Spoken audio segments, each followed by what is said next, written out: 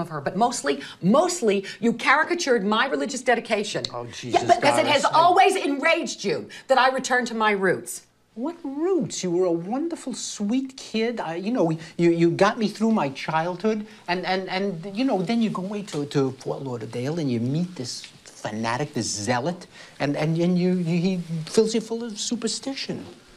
It's tradition. Tradition is the illusion of permanence. You have no values. Your whole life, it's nihilism, it's cynicism, it's sarcasm, and orgasm. Yeah, you know, in France, I could run on that slogan and win. I'm a Jew.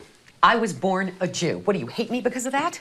What? And, and if our parents converted uh, to Catholicism uh, a month before you were born, we'd be Catholics, and that would be the end of it. They're, they're ah. clubs. They're exclusionary, all of them. They, they- you know, they, they foster the concept of the other, you know, so you know clearly who you should hate. And Oh, would you? That's enough.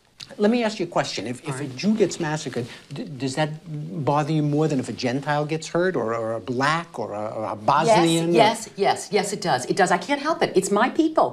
They're all your people. You know what? Burt is right about you. You're a self hating Jew. Hey, I may hate myself, but not because I'm Jewish. Oh, he says he's not a self hating Jew, and look at how he talks about them in his stories.